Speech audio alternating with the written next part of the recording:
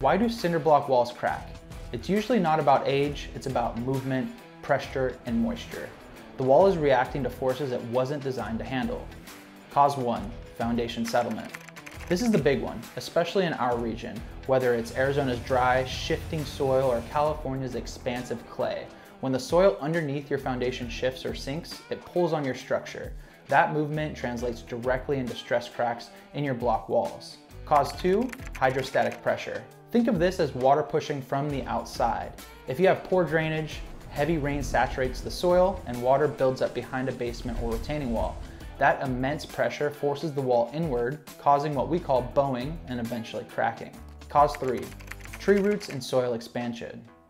Massive tree roots pushing against an exterior wall or expansive soil swelling up after rain can exert constant lateral force, leading to severe diagonal or horizontal cracks over time. Cause four, seismic activity. Let's face it, we're an earthquake country.